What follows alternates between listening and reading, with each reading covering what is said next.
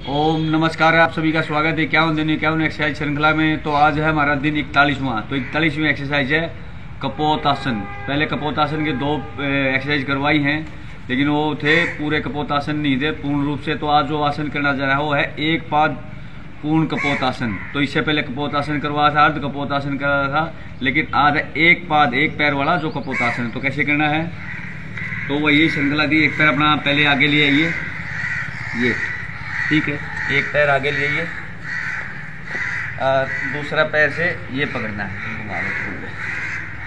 इससे ये ये हाँ ये ये। तो इस एक पाद कपोतासन से कह के इसके बेनिफिट्स क्या है? शोल्डर बाजू, इसे ज़्यादा शक्तिशाली होगी। पैरों में जंगों में शक्ति होगी।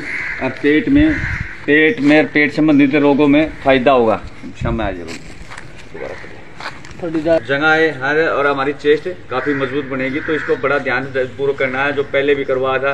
ये देखिए, ये जो पैर आ गया है इससे क्या जगह आगे वैसे असर पड़ता है।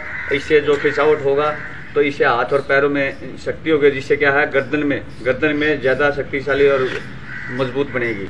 और इसके पेट और पिनियाज पैन क्रिया से मतलब है, और ये शुगर, अस्थमा, रिलेटेड जो भी इसमें हमारे जो रोग हैं, उनमें काफ़ी हद तक फ़ायदेमंद है। तो नमस्कार, मिलते हैं अगले वीडियो में। राम राम।